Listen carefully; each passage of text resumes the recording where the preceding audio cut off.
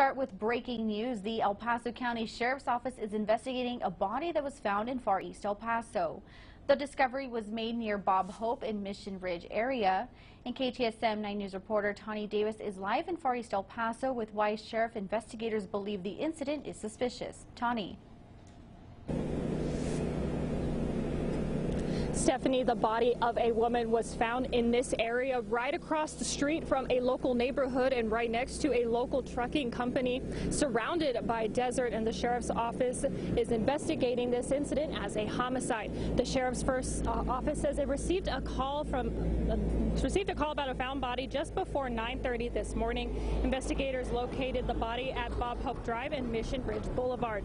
Deputies were dispatched onto the scene where they were directed approximately 100 yards into the desert where investigators located the body of a female. As of now, she has not been identified, but the circumstances surrounding her death are suspicious.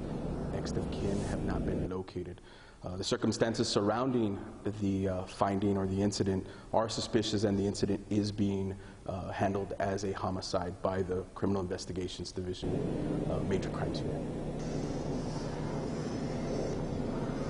The sheriff's office has cleared the area, and as soon as we know more, we will update you on air and online. Live from Far East El Paso, Tawny Davis, KTSM 9 News.